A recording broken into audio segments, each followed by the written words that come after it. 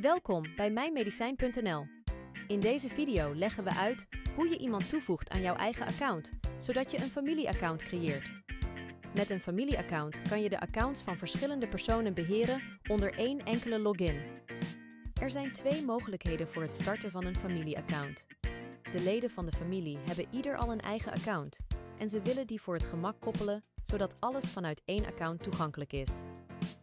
Of het kan ook zijn dat Iedereen in de familie maakt gebruik van hetzelfde e-mailadres en is met datzelfde e-mailadres uitgenodigd door een zorgverlener. In het eerste geval, als iedereen zelf al een account heeft, log je in op mijnmedicijn.nl met het account dat je als basis wil gaan gebruiken voor jouw familie. Bovenin in het menu zie je jouw account staan. Eronder is er een mogelijkheid om iemand uit te nodigen om onderdeel te worden van jouw account. Vul het e-mailadres in van het familielid die je wilt uitnodigen om onderdeel te worden van jouw familie. Deze persoon ontvangt nu een e-mail met het verzoek om een onderdeel te worden van jouw familieaccount. Als dat verzoek geaccepteerd wordt, dan verschijnt deze persoon in jouw menu.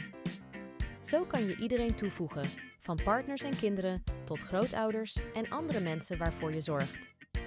Het kan ook zijn dat een zorgverlener een uitnodiging heeft gestuurd als meerdere uitnodigingen op hetzelfde e-mailadres binnenkomen, dan herkent het systeem dat. Maak dan het eerste account aan met de uitnodiging van de persoon die u als beheerder van het familieaccount ziet. Na openen van een volgende uitnodiging en bevestiging van de persoonsgegevens kunnen daaropvolgende familieleden eenvoudig toegevoegd worden door de aanwijzingen op het scherm te volgen. Als je iemand liever toch niet aan jouw familieaccount toevoegt, kan je altijd op dat moment nog besluiten die persoon een eigen e-mailadres en daarmee losstaand account te geven.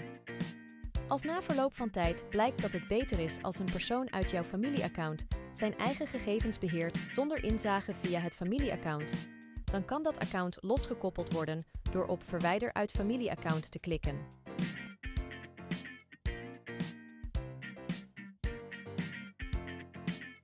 Deze gebruiker kan nu zijn eigen account alleen nog benaderen met zijn eigen inloggegevens. We hopen dat deze video heeft geholpen en we horen graag van je als je vragen hebt.